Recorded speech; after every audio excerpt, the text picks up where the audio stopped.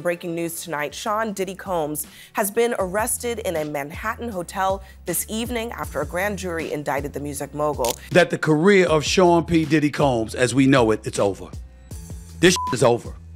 It's over in the worst possible way, one of the worst possible ways you can imagine. People cast judgment after people saw that video. Hundred percent. Like, come on. Yeah. Come on. hundred percent. You can't tell people to reserve judgment after they didn't seen a video like that. I tell you what, Puffy. Your life is in danger. Because you know the secrets. Who's involved in that little secret room you guys. So it seems Diddy is done for, and it's looking like there's no turning back now. The once celebrated music mogul has been officially arrested and indicted on federal charges, and it's a big deal.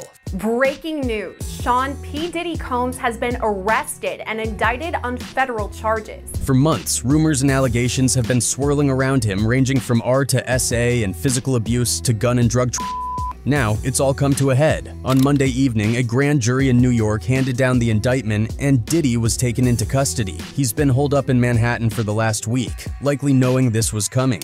On Monday evening, he was indicted by a grand jury in New York. He was taken into custody in Manhattan, where he's been for the last week in anticipation of these charges. While the details of the charges are still sealed for now, the indictment is tied to a criminal investigation into S and a bunch of other serious crimes. Federal agents had already raided his homes in Beverly Hills and Miami, and it seems like the walls are closing in fast on Diddy. But here's the thing. If Diddy gets sentenced and thrown in jail, it might not just be the end of his career, it could be a living nightmare. Not only is he facing these major charges, but there's also a long list of people who might want to settle old scores with him. And topping that list is none other than Suge Knight. I tell you what, Puffy. Your life is in danger. Because you know the secrets. Who's involved in that little secret room you guys. Now, Suge and Diddy go way back. It's no secret that Suge has accused Diddy of being involved in Tupac's murder. Puffy can give him a mother star. Every rat in the world said he's Tupac. On top of that, Suge has been calling Diddy out for years, accusing him of being a federal informant. And we all know how people in prison feel about snitches. He's been an FBI informant forever. That's what he would say. That's why it's different when it comes to him. Suge even went as far as to clown Diddy for his rumored gay stuff, something that never sat well with Suge. Into a party, standing in there is Puffy, Dre, Snoop. What do you oh, think? First of all, you know I don't go to those type of parties. you know, I'm straight. Call me. But did you, Cat, and Diddy ever spend Hey, time together? I'm not, I'm not. I'm not gonna. I'm not gonna. Listen. I'm not gonna say I never had a threesome. But I damn sure ain't had no threesome with no men. And while Suge might seem more chilled out now that he's been in prison for a while, let's not forget who we're talking about here. Suge Knight, at one point, was the most feared man in hip hop, and he still holds a lot of weight behind bars. Diddy knows this all too well. There were even rumors that Suge slapped him back in the day, and Diddy was so scared of him that he had to hire military grade security to protect himself. Shug was Suge was like, yo, you alright? And Puffy was there. Then all of a sudden I saw Suge. Pow! Smack the dog out of Puffy. You know, he, he didn't say it in that type of words, but we went to the concert. It was in San Diego, and this nigga had uh, uh, Navy SEALs in the next room. They looking like the FBI with earpieces and everything. So yeah, if Diddy ends up in prison, Suge Knight could very well make his life a living hell. But let's circle back to the bigger picture. The fact that a grand jury has indicted him means they believe there's enough evidence to take him to trial, and that's no small thing. Your boy Diddy was out here confidently strolling the streets of New York with his son King Combs, probably thinking things were business as usual. But then, the feds swooped in a day earlier than expected and took him into custody. Apparently, Diddy was supposed to be arrested on Tuesday, but something changed and law enforcement decided to make their move on Monday night instead according to reports, was supposed to happen happen Tuesday. So that was supposed to actually happened today.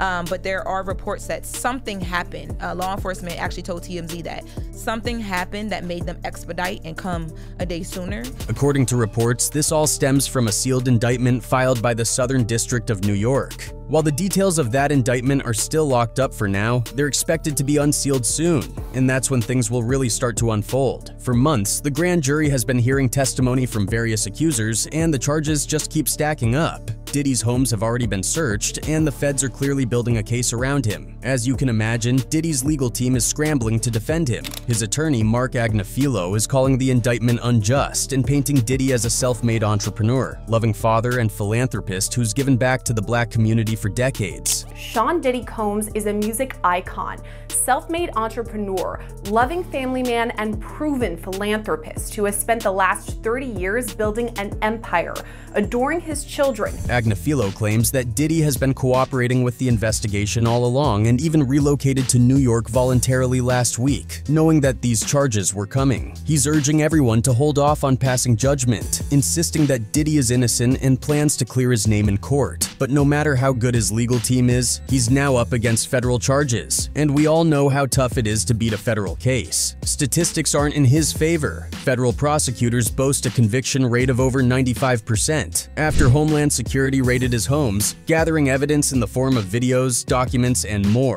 it's hard to see a way out for Diddy. Now what's next is his arraignment is expected to happen soon, possibly as early as tomorrow or in the next few days. Now since cameras aren't allowed in federal court, we won't get any footage of it, but you can bet the media will be all over this. At the arraignment, Diddy will appear in court with his attorneys, and that's when he'll officially hear the charges laid out against him. He'll enter a plea, and considering his legal team is already talking about how he's innocent and ready to fight the charges, it's pretty much a given that he'll plead not guilty. Then comes the issue of bail. The prosecution will have to decide if they'll let him out on bail or keep him locked up until trial. The big question is whether Diddy will be considered a flight risk or a danger to the community. His lawyers will likely argue that he's been cooperative all along, even moving closer to New York to make it easier for the authorities to take him into custody. But even with a strong legal team and deep pockets, most people are already saying Diddy's chances of getting off scot-free are slim. And if Diddy does lose the case and ends up behind bars, life is about to get even tougher for him. As we mentioned earlier, there are people like Suge Knight who would probably love to get a piece of Diddy. Suge might seem more chilled out these days, but anyone who knows hip-hop history remembers how much of a menace Suge was back in his prime. Remember Vanilla Ice? That story is just one example of how far Suge was willing to go to get his way. Back in the early 90s, Suge allegedly pressured Vanilla Ice into signing over rights to Ice Ice Baby, supposedly written by Suge's associate Mario Johnson.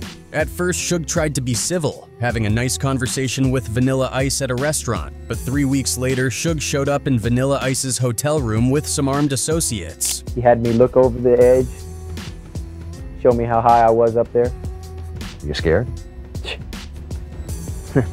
I needed to wear a diaper on that day. According to legend, Suge dangled Vanilla Ice over a balcony until he agreed to see things Suge's way, though Vanilla himself has denied this version of events. Either way, the message was clear. Suge was not someone to be messed with. Then there's the story of Happy Walters, a music manager who found out the hard way what happens when you cross Suge. Walters was managing RZA of Wu-Tang Clan and refused to give him up to Suge. What happened next was like something out of a crime thriller. Walters was allegedly abducted at an ATM and two days later he was found in a hotel in Long Beach, beaten and burned with cigarettes. Walters claimed he had amnesia and couldn't remember what happened, but within weeks he'd dropped RZA and most of his other rap acts. It was a classic Suge Knight move, intimidation and violence were his go-to tactics. Even members of Death Row Records were scared of Suge. He was notorious for using physical violence, and it wasn't limited to just men. He reportedly got out of control and even used violence against women. Suge's reputation for fear and brutality followed him wherever he went. You understand? I've seen people get that dough locked on them. I wasn't the only lady that got beat up. And we can't forget the infamous hit and run incident where Suge ran over Terry Carter and CLE Sloan in his pickup truck during the filming of Straight Outta Compton. Terry Carter tragically lost his life, and Sloan was injured but survived. The video obtained by TMZ shows the January 29th incident where Knight's truck apparently runs over the two men. The truck backs up, hits one man. Seconds later, uh, the truck comes back and runs over. This wasn't just some random act of road rage. Suge was angry about how he was portrayed in the movie and wanted compensation for it. Even the film's director, F. Gary Gray, wasn't safe from Suge's wrath. Suge reportedly threatened Gray and his family over the phone, telling him, You have kids just like me, so let's play hardball. Yeah, this is yet another charge for Suge Knight related to the movie Straight Outta Compton. This time he is accused of texting a death threat to the movie's director. The threats were enough to terrify Gray, who later claimed in court that he couldn't remember much about the incident. And then there's the long-standing tension between Diddy and Suge Knight, a beef that dates back decades. Initially, their relationship was pretty normal, just two major players in the music industry. But everything changed at the 1995 Source Awards when Suge publicly threw shade at Diddy. Don't want to, don't have to worry about producer trying to be all in the video, all on the record, dancing. Come Death Row. Less than two months later, things escalated when a brawl broke out between Death Row Records and Bad Boy Records at a club in Atlanta. Keith Murray, who was present that night, recounted how the confrontation between the bosses of these major labels ended in tragedy. Suge was like, yo, you alright? And Puffy was there. Then all of a sudden I saw Suge. Pow! Smack the dog out of Puffy.